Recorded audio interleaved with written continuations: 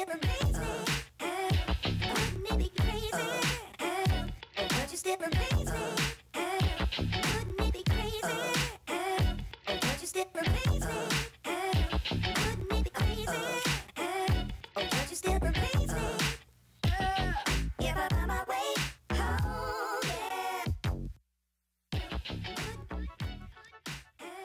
Hello curls, it's Yolanda Renee. I'm going to show you what my hair looks like when I first take down my braids or my twists because I think a lot of people see, you know, people's hair that looks big and, you know, defined or fluffy or whatever, and they think as soon as they take their braids out, it just automatically looks like this, but that is so far from the truth. So I just wanted to come to you guys with this video to give you encouragement to let you know that no, your hair does not come out flawless as soon as you take the braids out. There are a few steps that you have to do to make your hair look how you want it to look. And it does take a bit of practice, some trial and error. So the first thing that you will have to do is of course take the braids or twists out. And the elephant in the room is this bonnet. I keep on showing this to you guys and I keep forgetting to like actually talk about it because I do want to do a video solely on this bonnet for my shop black series but since again it's the elephant in the room this is my Florbella boutique bonnet and um, the owner Crystal hand makes these like amazing I think I need some water. They are adorable. They're humongous. Even if my hair wasn't braided if I had a big fro under here I could still rock this. It even fits over my pillow. Yeah like a throw pillow so it can kind of be like a pillowcase too. But I'll have more of her information in the description box but let's get started you guys today alright so first thing don't laugh but the point of this video is to show you guys that your styles are not going to come out how you want them to initially. So I'm going to show you how to fluff your braid out today. Um, as you guys know, I always do my hanging bantu knot. Yes, this is the hanging bantu knot. I have a tutorial on it. But I like to do that to give my ends some definition. So I'm just putting my finger now right in between and it kind of falls apart on its own after a while and you just have to guide it.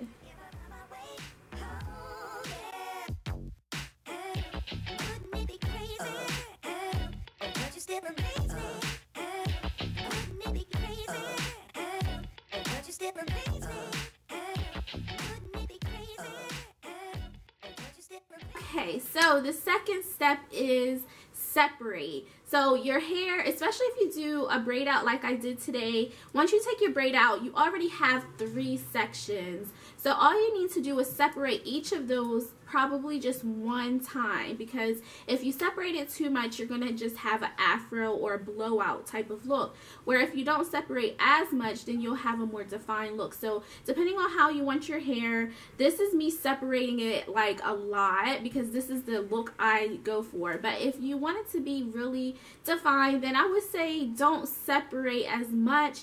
And I do have some footage of what it looks like when I didn't separate it too much.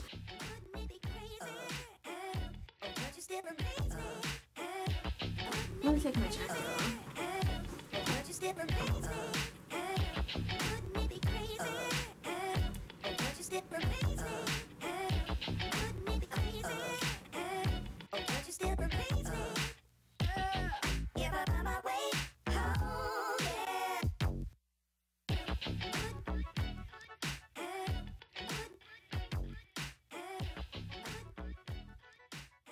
The last step of this styling process is a hair pick. I love hair picks.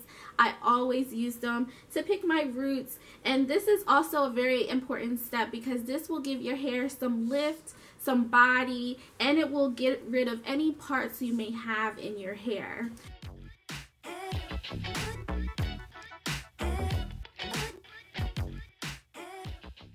This may be okay to some people. This is how it looks right now. And I'll just do a 360 for you.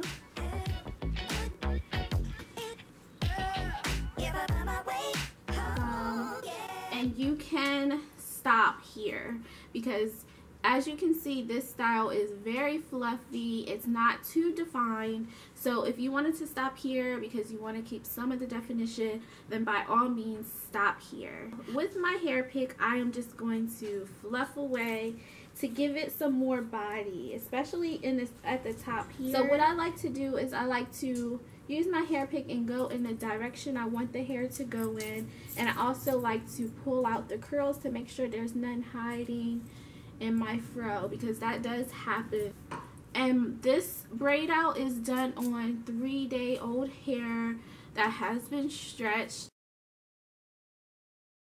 so um, the last step is to shape it of course because once you know like my hair isn't cut into a shape. So I have to I usually try to pull my um the the bottom half of my hair. I try to pull that down to give it some length um, and make sure that it's no like weird spaces in between. Because I know if you're a natural see how our hair is just like it molds to everything so you see how that little separation right there if I had my head regular and my hair was like that I would be so annoyed so that's why you may notice in most of my videos as I'm like doing a tutorial, I'm always like this and messing with it because I just want my hair to stay, you know? I don't want that weird space. Um, so yeah, I always shape my hair, um, even from the side view. I may have to like shape it to make it look like kind of like a wedge look or a heart shape or whatever you want to call it. But yeah so yeah just shape your hair and you should be good to go. Don't be surprised if your hair grows throughout the day and gets bigger or more of an afro.